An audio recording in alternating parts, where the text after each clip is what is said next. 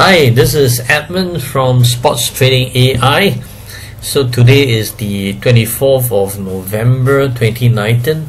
So let us take a look at this uh, matchup uh, between Rapid Vienna versus uh, Sturm Graz from the Austrian uh, Division 1.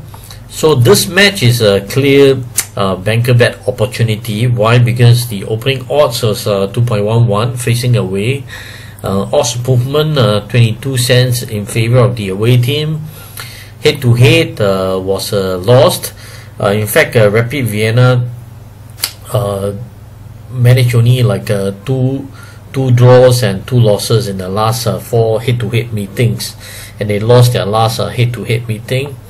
And then um, Rapid Vienna actually lost their match where their last match at home uh, versus uh, Sturm Graz actually won a 4 0 away, right? Uh, so, in terms of uh, goal difference, also in favor of uh, Sturm Graz, uh, minus 4.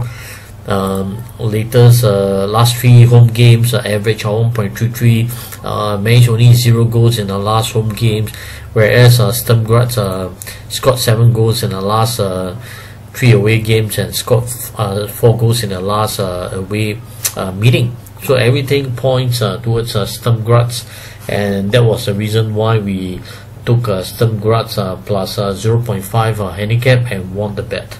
So if you like this video kindly subscribe to the channel.